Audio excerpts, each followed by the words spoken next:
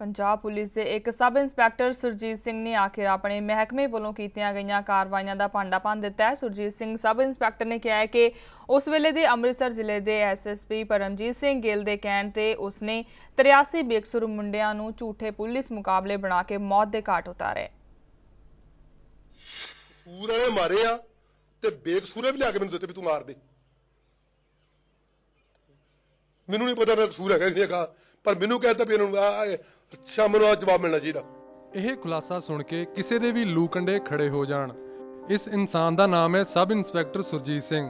ਸੁਰਜੀਤ ਸਿੰਘ ਮੁਤਾਬਕ ਉਹ ਸਨ 1993 ਵਿੱਚ ਉਸ ਵੇਲੇ ਪੰਜਾਬ ਪੁਲਿਸ ਵਿੱਚ ਭਰਤੀ ਹੋਇਆ ਸੀ, ਜਦ ਪੂਰਾ ਸੂਬਾ ਅੱਤਵਾਦ ਦੀ ਲਪੇਟ ਵਿੱਚ ਸੀ। ਸੁਰਜੀਤ ਸਿੰਘ ਮੁਤਾਬਕ ਉਸ ਨੂੰ ਥਾਣਾ ਮਹਿਤਾ ਚੌਂਕ ਦੇ ਮੁਖੀ ਸਰਬਜੀਤ ਸਿੰਘ ਪੰਦੇਰ ਨਾਲ ਗਨਮੈਨ ਵਜੋਂ ਲਗਾਇਆ ਗਿਆ ਸੀ। ਪਰ 2 ਮਹੀਨਿਆਂ ਬਾਅਦ ਹੀ ਉਸ ਨੂੰ ਥਾਣੇ ਦਾ ਇੰਚਾਰਜ ਬਣਾ ਦਿੱਤਾ ਗਿਆ। ਸੁਰਜੀਤ ਸਿੰਘ ਨੇ ਦੱਸਿਆ ਕਿ ਇਸ ਤੋਂ ਬਾਅਦ ਕਤਲੇਆਮ ਦਾ ਉਹ ਸਿਲਸਿਲਾ ਸ਼ੁਰੂ ਹੋਇਆ, ਜਿਸ ਨੂੰ ਯਾਦ ਕਰਕੇ ਉਹ ਅੱਜ ਵੀ ਕੰਮ ਜਾਂਦੇ ਨੇ।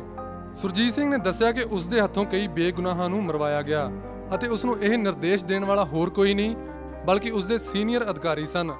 ਸੁਰਜੀਤ ਸਿੰਘ ਦੀ ਮੰਨੀਏ ਤਾਂ ਉਸ ਨੂੰ ਅਜਿਹਾ ਕਰਨ ਲਈ ਪੰਜਾਬ ਪੁਲਿਸ ਦੇ ਹੀ ਕੁਝ ਅਧਿਕਾਰੀਆਂ ਵੱਲੋਂ ਧਮਕਾਇਆ ਜਾਂਦਾ ਸੀ ਅਤੇ ਬਲੈਕਮੇਲ ਕਰਕੇ ਉਸ ਤੋਂ ਫਰਜ਼ੀ ਪੁਲਿਸ ਮੁਕਾਬਲੇ ਕਰਵਾਏ ਜਾਂਦੇ ਸਨ। ਸੁਰਜੀਤ ਸਿੰਘ ਮੁਤਾਬਕ ਜੇਕਰ ਇਹਨਾਂ ਸਾਰੇ ਮਾਮਲਿਆਂ ਦੀ ਸੀਬੀਆਈ ਜਾਂਚ ਕਰਵਾਈ ਜਾਏ ਤਾਂ ਬਹੁਤ ਸਾਰੇ ਪੁਲਿਸ ਅਧਿਕਾਰੀ ਬੇਨਕਾਬ ਹੋ ਜਾਣਗੇ। ਗਿੱਲ ਸਾਹਿਬ ਨੇ ਭਰਤੀ ਕੀਤਾ ਮੈਨੂੰ। ਉਸ ਤੋਂ ਬਾਅਦ ਮੈਂ 99 ਚ ਟ੍ਰੇਨਿੰਗ ਤੇ ਚਲ ਗਿਆ 90 ਟ੍ਰੇਨਿੰਗ ਕਰ ਗਿਆ। ਆਉਂਦੇ ਮੈਨੂੰ 2 ਮਹੀਨੇ ਮੈਂ ਜਾਂ 1 ਮਹੀਨਾ ਐਸਐਚਓ ਨਾ ਰਿਹਾ। ਯਾਦ ਨਹੀਂ ਮੈਨੂੰ ਪੂਰਾ ਹਲੇ। ਉਸ ਤੋਂ ਬਾਅਦ ਮੈਨੂੰ ਜਿਹੜੇ ਐਸਐਚਓ ਨਾਲ ਮੈਂ gunman Sarabjit Pandher SP retire ਹੋ ਗਏ ਉਹ।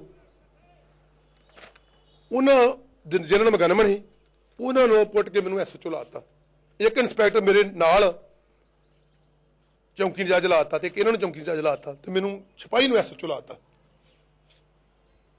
ਤਰੱਕੀ ਦੇ ਕੇ ਰਾਤੋਂ ਰਾਤ ਉਹਦੇ ਦਾ ਕਾਰਨ ਕੀ ਸੀ? ਉਹ ਉਹ ਨਹੀਂ ਹਟਾਕ ਨਹੀਂ ਉਹ ਉਹਦਾ ਕਾਰਨ ਕੀ ਉਹ ਗਿੱਲ ਸਾਹਿਬ ਜਾਣਦੇ ਜਾਂ ਮੈਨੂੰ ਪਤਾ? ਕਾਰਨ ਕੀ ਸੀ? ਕੀ ਮੈਂ ਕੀਤਾ? ਜਾਂ ਗਿੱਲ ਸਾਹਿਬ ਨੂੰ ਪੁੱਛਿਆ ਵੀ ਕੀ ਇਹਦੇ ਕੋ ਕਰਾਇਆ ਤੂੰ? ਕਸੂਰ ਵਾਲੇ ਮਾਰੇ ਆ ਤੇ ਬੇਕਸੂਰੇ ਵੀ ਲਿਆ ਕੇ ਮੈਨੂੰ ਦਿੱਤੇ ਵੀ ਤੂੰ ਮਾਰ ਦੇ। ਮੈਨੂੰ ਨਹੀਂ ਪਤਾ ਨਾ ਕਸੂਰ ਹੈਗਾ ਕਿ ਨਹੀਂ ਹੈਗਾ ਪਰ ਮੈਨੂੰ ਕਹਿੰਦਾ ਵੀ ਇਹਨਾਂ ਨੂੰ ਸ਼ਾਮ ਨੂੰ ਆ ਜਵਾਬ ਮਿਲਣਾ ਚਾਹੀਦਾ। ਸੁਰਜੀਤ ਸਿੰਘ ਮੁਤਾਬਕ ਉਹ ORP ਰੈਂਕ ਦਾ ਸਬ ਇੰਸਪੈਕਟਰ ਹੈ ਪਰ ਉਸ ਨੂੰ ਦੂਜਿਆਂ ਦੀ ਤਰ੍ਹਾਂ ਰੈਗੂਲਰ ਕੀਤਾ ਗਿਆ ਹੈ। ਸੁਰਜੀਤ ਸਿੰਘ ਮੁਤਾਬਕ ਉਸਨੇ ਇਸ ਸਿਲਸਿਲੇ 'ਚ ਐਸਐਸਪੀ ਤਰਨਤਾਰਨ ਨੂੰ ਵੀ ਗੁਹਾਰ ਲਗਾਈ ਸੀ ਪਰ ਨਤੀਜਾ ਸਿਫਰ ਹੀ ਰਿਹਾ। ਸੁਰਜੀਤ ਸਿੰਘ ਨੇ ਆਪਣੀ ਜਾਨ ਨੂੰ ਖਤਰਾ ਦੱਸਿਆ ਹੈ। ਮੇਰੀ ਜਿਹੜੀ ਮੇਰੀ ਜਾਨ ਨੂੰ ਖਤਰਾ ਵਾ ਮੈਨੂੰ ਕੱਲ ਐਸਐਸਪੀ ਨੇ ਅੰਦਰ ਸੱਦ ਕੇ ਕਹਿਤਾ ਵੀ ਤੂੰ ਦਰਿਆ 'ਚ ਹੋਏਗਾ ਦਰਿਆ 'ਚ। ਮੈਨੂੰ ਗਿਲ ਸਾਹਿਬ ਨੇ ਹੁਕਮ ਦਿੱਤਾ ਵੀ ਇਹਨੂੰ ਬਿਆਸ ਰੋੜ ਦੋ। ਤੇ ਮੈਨੂੰ ਹੁਣ ਵੀ ਮੈਂ ਆਇਆ ਤੇ ਮੈਂ ਇਹਨੂੰ ਨਾਲ ਲੈ ਕੇ ਆਵਾਂ ਭਾਜੀ ਨੇ ਵੀ ਮੇਰੇ ਨਾਲ, ਚੱਲੋ, ਮੇਰੀ ਜਾਨ ਨੂੰ ਖਤਰਾ ਜੇ। ਤੇ ਮੈਨੂੰ ਜੇ ਮੇਰਾ ਕੋਈ ਵੀ ਹੈਗਾ, ਜੇ ਮੈਨੂੰ ਸਿਕਿਉਰਿਟੀ ਜੋ ਵੀ ਬਣਦੀ ਮੇਰੀ ਮੈਨੂੰ ਸਿਕਿਉਰਿਟੀ ਦਿੱਤੀ ਜਾਵੇ। ਤੇ ਮੈਨੂੰ ਕਿਸੇ ਰੈਂਕ ਦਾ ਭੁੱਖ ਨਹੀਂ ਗੀ, ਮੈਨੂੰ ਕਿਸੇ ਨੌਕਰੀ ਦਾ ਭੁੱਖ ਨਹੀਂ ਗੀ। ਮੈਂ ਆਪਣੀ ਜਾਨ ਚਾਹੀਦੀ ਮੈਨੂੰ, ਮੇਰੀ ਜਾਨ ਨੂੰ ਖਤਰਾ ਜੇ। ਤੇ ਹੋ ਸਕਦਾ ਗਿੱਲ ਮੈਨੂੰ ਕਿਤੇ ਚੁੱਕੇ ਕਿਉਂਕਿ ਇਸ ਮੌਕੇ ਮਨੁੱਖੀ ਅਧਿਕਾਰ ਸੰਗਠਨ ਦੇ ਸੀਨੀਅਰ ਆਗੂ ਕਿਰਪਾਲ ਸਿੰਘ ਰੰਧਾਵਾ ਨੇ ਕਿਹਾ ਹੈ ਕਿ ਸੁਰਜੀਤ ਸਿੰਘ ਨੇ ਉਹਨਾਂ ਨੂੰ ਉਹਨਾਂ 83 ਵਿਅਕਤੀਆਂ ਦੀ ਸੂਚੀ ਜਾਰੀ ਕੀਤੀ ਹੈ, ਜਿਨ੍ਹਾਂ ਨੂੰ ਪੁਲਿਸ ਅਧਿਕਾਰੀਆਂ ਵੱਲੋਂ ਵਾਰ-ਵਾਰ ਮਜਬੂਰ ਕਰਨ ਉੱਤੇ ਫਰਜ਼ੀ ਮੁਕਾਬਲਿਆਂ 'ਚ ਮਾਰ ਦਿੱਤਾ ਗਿਆ ਸੀ। ਉਹਨਾਂ ਕਿਹਾ ਹੈ ਕਿ ਸਾਰੇ ਮਾਮਲੇ ਦੀ ਸੀਬੀਆਈ ਤੋਂ ਜਾਂਚ ਕਰਵਾਉਣ ਲਈ ਪੰਜਾਬ ਅਤੇ ਹਰਿਆਣਾ ਹਾਈ ਕੋਰਟ ਦਾ ਦਰਵਾਜ਼ਾ ਖੜਕਾਇਆ ਜਾਵੇਗਾ। ਇਹਨਾਂ ਨੂੰ ਐਸਐਚਓ ਰਾਤੋਂ ਰਾਤ ਜਦੋਂ ਕਿ ਸਿਪਾਹੀਆਂ ਨੂੰ ਇਸ ਕਰਕੇ ਲਾਇਆ ਵੀ ਇਹਨਾਂ ਕੋ ਜਾਇਜ਼ ਨਜਾਇਜ਼ ਅਸੀਂ ਕੰਮ ਕਰਵਾ ਸਕੀਏ। ਉਹਨਾਂ ਨੇ ਮੈਨੂੰ ਸਾਰੀ ਹਕੀਕਤ ਦੱਸੀ ਆ ਤਕਰੀਬਨ ਘੱਟੋ ਘੱਟ 83 ਬੰਦਿਆਂ ਦੀਆਂ ਲਿਸਟ ਜਿਹੜੀ ਆ ਨਾ ਇਹ ਬੰਦਾ ਯਾਰੀ ਮੈਨੂੰ ਸੌਂਪ ਦਿੱਤੀ ਇਹਨੇ ਵੀ 83 ਬੰਦੇ ਅਸੀਂ ਮਾਰੇ ਆ ਨਜਾਇਜ਼। ਔਰ ਜਿਹੜੇ ਜਾਇਜ਼ ਮਾਰਿਆ ਮੁਕਾਬਲੇ ਹੋ ਗਏ ਉਹ ਠੀਕ ਵੱਖਰੇ ਆ। ਔਰ ਇਹਨੇ ਬੰਦਿਆਂ ਦੀਆਂ ਮੈਂ ਜਿਹੜੇ ਮੇਰੇ ਕੋਲ ਨਜਾਇਜ਼ ਕੰਮ ਆ, ਮੈਨੂੰ ਲਾਲਚ ਦਿੱਤਾ ਗਿਆ ਮੈਨੂੰ ਥ੍ਰੈਟ ਕੀਤਾ ਗਿਆ ਜੇ ਤੂੰ ਆ ਇੱਕ ਕਰ ਦਿੱਤਾ ਜੇ ਆ ਨਾ ਮਾਰਿਆ ਤਾਂ ਤੈਨੂੰ ਮਾਰ ਦਿਆਂਗੇ। ਔਰ ਮੈਂ ਡਰਦੇ ਹੋਇਆ ਸਾਰਾ ਕੁਝ ਇਹਨਾਂ ਦੇ ਸੰਪਰਕ ਚ ਆ ਕੇ ਇਹਨਾਂ ਦੇ ਭੈ ਥੱਲੇ ਸਾਰਾ ਕੁਝ ਕਰਦਾ ਰਿਹਾ। ਔਰ ਇਹ ਹੁਣ ਸਿਕਿਉਰਿਟੀ ਦੀ ਵੀ ਮੰਗ ਕਰਦਾ ਹੈ ਔਰ ਮੈਂ ਚਾਹੁੰਦਾ ਇਹ ਮਸਲਾ ਸਾਰਾ ਜਿਹੜਾ ਮੈਂ ਹਾਈ ਕੋਰਟ ਦੇ ਵਿੱਚ ਇੱਕ ਅੱਧੇ ਦਿਨ ਚ ਹਾਈ ਕੋਰਟ ਚ ਖੜ ਕੇ ਔਰ ਇਹ ਮਸਲਾ ਡਿਕਲੇਅਰ ਕਰੂੰਗਾ ਸੀਬੀਆਈ ਤੋਂ ਇਨਕੁਆਰੀ ਦੀ ਮੰਗ ਕਰੂੰਗਾ ਹਾਈ ਕੋਰਟ ਤੋਂ।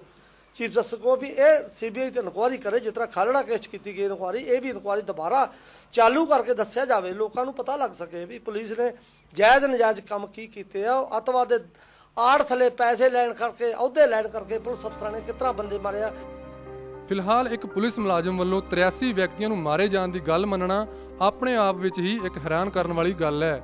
ਦੇਖਣਾ ਹੋਵੇਗਾ ਕਿ ਇਸ ਖੁਲਾਸੇ ਤੋਂ ਬਾਅਦ ਪੰਜਾਬ ਸਰਕਾਰ ਦਾ ਅਗਲਾ ਕਦਮ ਕੀ ਹੋਵੇਗਾ। ਤਰਨਤਾਰਨ ਤੋਂ ਧਰਮਵੀਰ ਮਲਹਾਰ ਦੇ ਨਾਲ Jarmanjit Randhawa day and night news.